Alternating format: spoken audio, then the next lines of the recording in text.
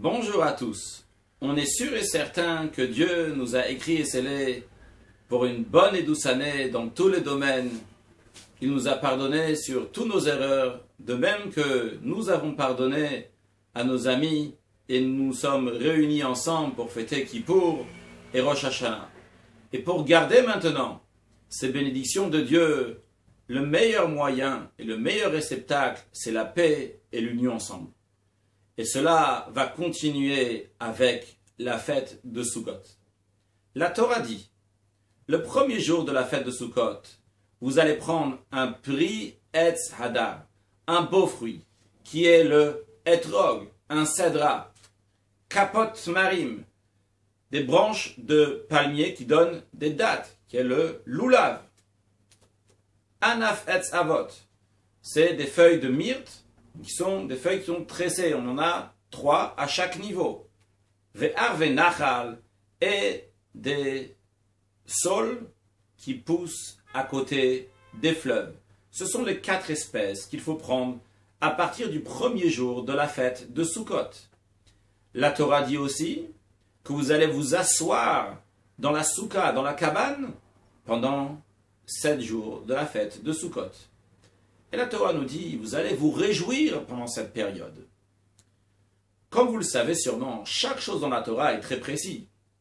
La Torah nous dit les trois choses en même temps. Le fait de prendre les quatre espèces, le fait de s'asseoir dans la cabane et de se réjouir. Il faut comprendre quel est le rapport entre ces trois choses. Encore quelque chose à comprendre. La Torah nous dit de manière très exacte qu'est-ce qu'il faut prendre pour les quatre espèces. Et le hétrog doit être un beau hétrog. Le loulav doit être aussi un loulav qui soit frais, qui soit exactement comme la Torah le demande, ainsi que les feuilles de myrte.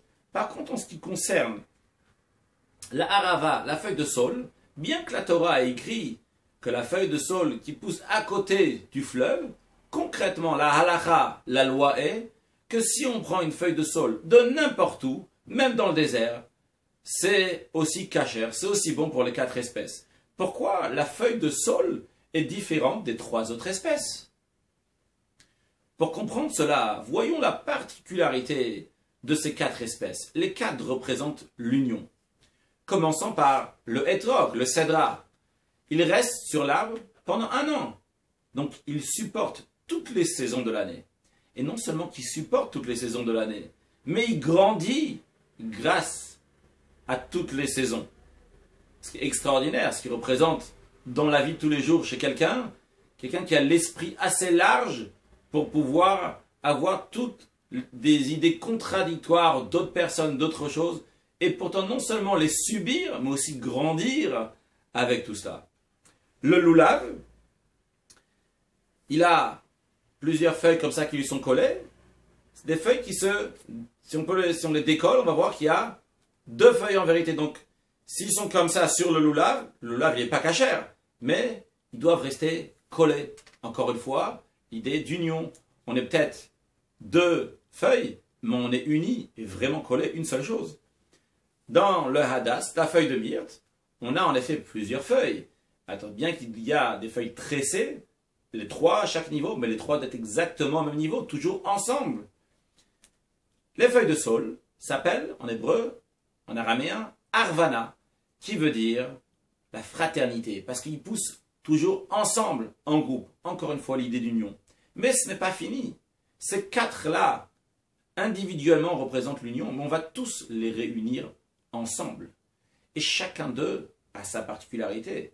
En effet, le Midrash nous dit que le Etrog, le Cédra, qui a un goût et une odeur, représente une catégorie de juifs qui est celui qui étudie la Torah, qui a le goût la compréhension, qui donne goût à faire les choses, et il a aussi une bonne odeur qui représente les bonnes actions qui laissent, entre guillemets, une bonne odeur autour de nous dans le monde.